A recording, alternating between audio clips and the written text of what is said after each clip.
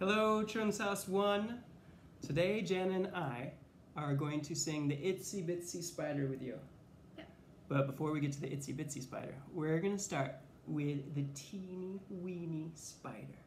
Some spiders are so little you can barely see them. Some spiders, like the Patu digua, can fit very comfortably on the tip of my pen. So let's start with the teeny weeny spider. Do you have your teeny weeny spider and your teeny weeny voices? One, two, three. The teeny weeny spider went up the water spout. Down came the rain that washed the spider out. Out came the sun that dried up all the rain. Then the teeny weeny spider went up the spout again. Awesome. Shake your spider fingers loose a little bit. We're gonna step it up to the itsy bitsy spider. There are some spiders that are like the size of a quarter, like the American grass spider that you could find in your backyard. We've also got the zebra jumping spider, which is a hunting spider. It doesn't, it doesn't build a web or anything. It just hunts and jumps. so we're gonna step it up to a little bit bigger. Are you ready? Ready. One, two, three. The itsy bitsy spider went up the water spout. Down came the rain that washed the spider out. Out came the sun that dried up all the rain. Then the itsy bitsy spider went up the spout again. Now there are some even bigger spiders. There are tarantulas. There are like a thousand different kinds of tarantulas, and they're super fuzzy. Some of us got to meet a tarantula named Rosie last summer. We even got to hold her.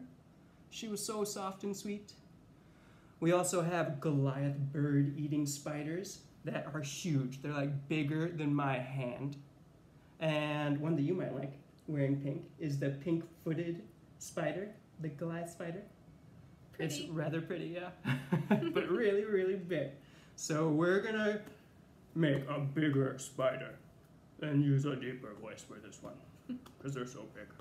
You ready? Ready. One, two, three.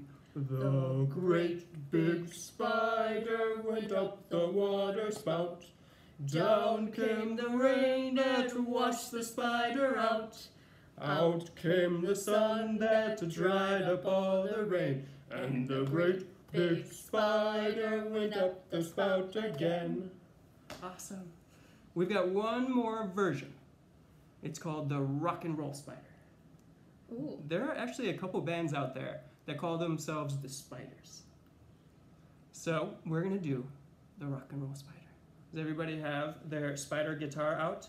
No. you ready? Ready. One, two, three. The rock and roll spider went up the water spout. Down came the rain and washed the spider out. Out came the sun that dried up all the rain. Then the rock and roll spider went up the spout again.